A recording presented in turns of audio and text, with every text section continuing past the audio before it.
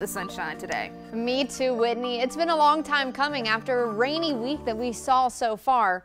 A broad view of our satellite radar, you can see clear conditions taking over the southeast. We're going to have a very enjoyable forecast for your Friday. Sunshine and warmer temperatures as this high pressure system takes control of the forecast. Ample sunshine, warm temperatures, a very enjoyable weekend outside ahead. On Saturday, it's going to be warm, but on Sunday, it's going to be pretty hot. Taking a look at the extended forecast now, another cold front is going to pass by early on next week, and that's going to bring along our next chance of rain. But for right now and into the weekend, we are dry and we are enjoying sunshine. Here's a live look over downtown Columbia. Temperatures have warmed into the 70s. It's going to be just a warm, beautiful, but slightly humid day outside on this last day of the work week.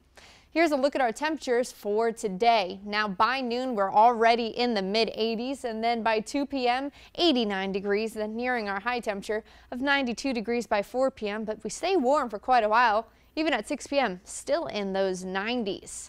Now, as these warmer temperatures return and the sunshine is here, this is a reminder that we need to be careful of the UV index outside. Today, I'm expecting a UV index of about 10, and that means that burn time is about 10 to 15 minutes. So please be careful if you are enjoying some time outside today.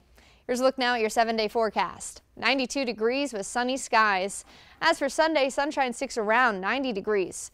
On Sunday, mostly sunny and 96 degrees. Now, after that cold front will approach on Monday, our next chance for some storms, that will cool temperatures down to closer to near normal by Tuesday and Wednesday.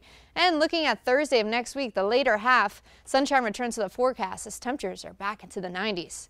Let's take a quick look now at your traffic outside on your Friday morning.